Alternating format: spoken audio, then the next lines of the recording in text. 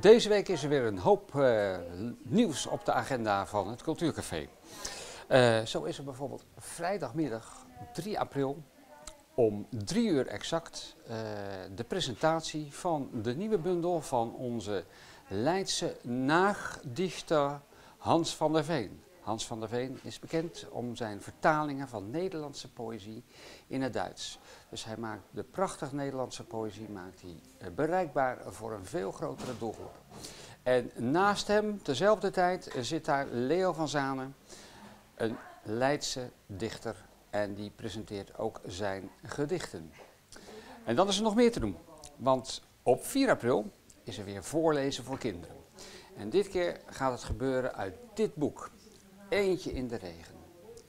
Iedereen is welkom. Alle kinderen, opa's, oma's, vaders, moeders, tantes, ooms, broers en zusjes. Er wordt voorgelezen en iedereen gaat ervan genieten. Kijk maar eens even wat mooie afbeeldingen te zijn. En zoals jullie zien zijn er dan ook lekkere hapjes.